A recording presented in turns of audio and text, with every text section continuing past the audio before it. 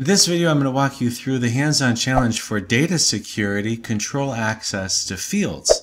The challenge is create a profile and permission set to handle field access. So two things, profile and permission set. Here we go.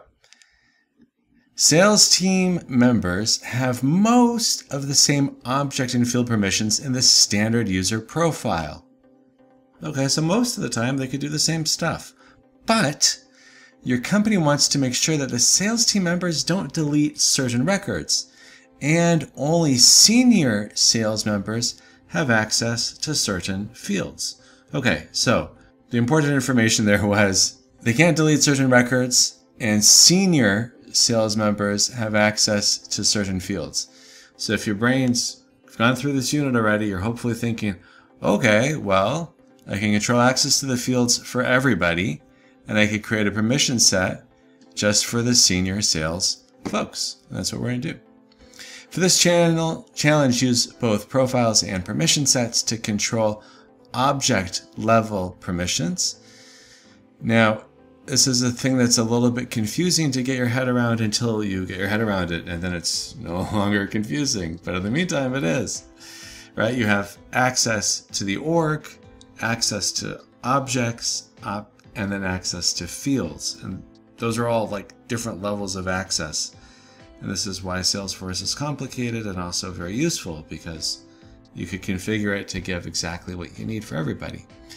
So here we're going to do profiles and permission sets to control object level permissions.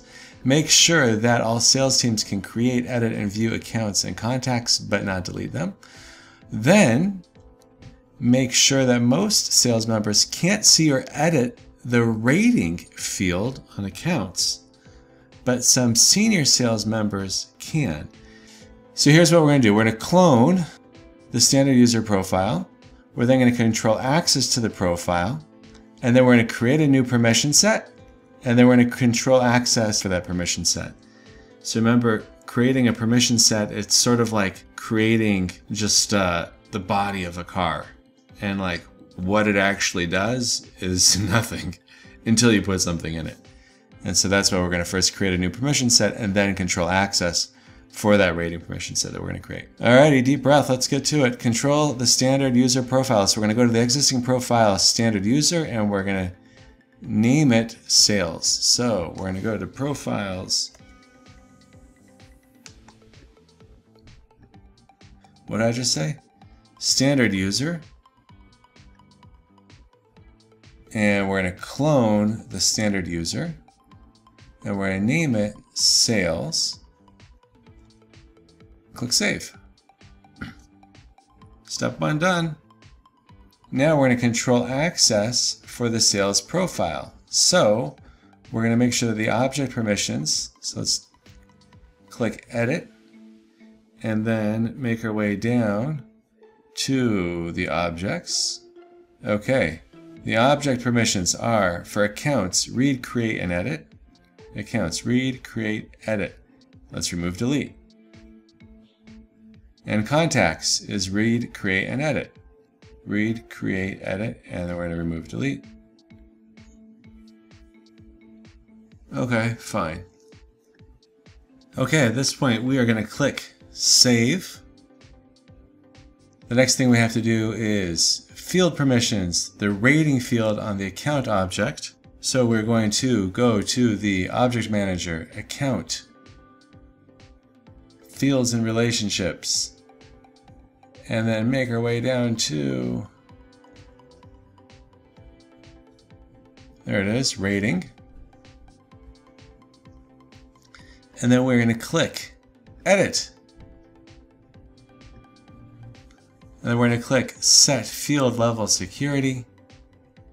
Now what we're looking at here is the field level security for the rating field on the account object. And we're going to go down to looking at each profile here. We're going to go down to our sales profile. This is ours. And we do not want this to be visible. So we're going to turn that off. Visible, read only. Sales should not be visible, right? Rating field canned object, no access. That's what that means. It's not visible. All other permissions from the standard user profile remain as is. We should then be able to click Save on this.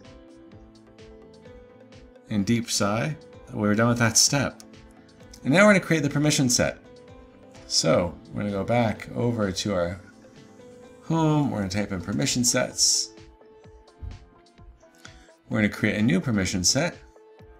And we're going to name it the rating permission set. New label, name. And you, you don't have to do this, but like if you think about it, this is the, we're naming, giving it the same name because this is the permission set that's going to open up access on the rating field on the account object. Okay, so now, you don't have to put in a description there. I'm just putting it in there so like we get our brains thinking about this and we're not just clawing away at our computers. And the user license here is um, Salesforce. So let's do that. There it is. It's conveniently not alphabetized. And then click Save.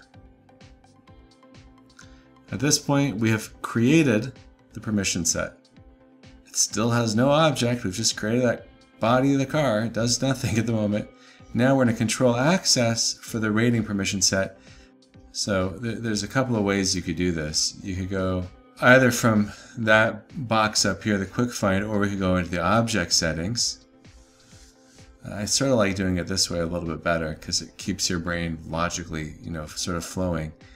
And then what we're looking here is we're going to click on edit and go down to the rating field and we're going to make that have read access. Is it just read access? Uh, it's read access and edit access. So we're going to see on the rating field read access and edit access and click save. And now we have told this uh, permission set what logic it has and what it's supposed to do. Well folks, I think we've done it.